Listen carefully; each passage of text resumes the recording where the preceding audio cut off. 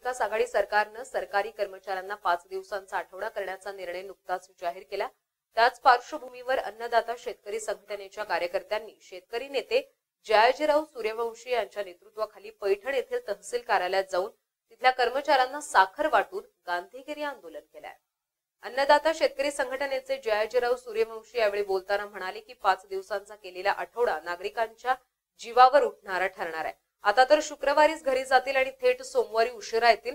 हक्काच्या रजा शासकीय सुट्ट्या यामुळे कामाचे किती दिवस शिल्लक राहतात याचा राज्य सरकारनं विचार केलेला नसल्यामुळे वर्षानुवर्ष शेतकऱ्यांची कामं प्रलंबित राहणार आहेत असंही त्यांनी नमूद केलंय. तहसील कार्यालयात अशीच गैरहजेरी राहिली तर अन्नदाता शेतकरी संघटनेचे कार्यकर्ते तहसील कार्यालयात अचानक जाऊन पंचनामा करू असा इशाराही यावेळी दिला आहे राज्य सरकारने पाच दिवसाचा जो आठवडा जाहीर केलेला आहे त्याच्या विरोधामध्ये आज अन्नदाता शेतकरी संघटनेने गांधीगिरी पद्धतीने आंदोलन केलं.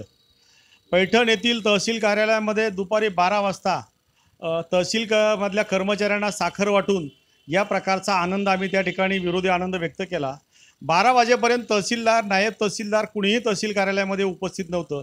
यावरून राज्य सरकारच्या कार्यालयामधली काय परिस्थिती आपल्या लक्षात येईल. आणि मुळातच सरकारी कर्मचारी काम करत नाहीत. आठवड्यामधल्या शुक्रवार आणि शनिवारी आता जर आता जर शनिवारी त्यांना सुट्टी दिली तर शुक्रवारी दुपारीच ते घरी जाणार आहेत. ते सोमवारी उशिरा येणार आहेत. बरेच राज्य सरकारचे कर्मचारी तालुक्याच्या ठिकाणी राहत नाहीत शहराच्या ठिकाणी राहतात.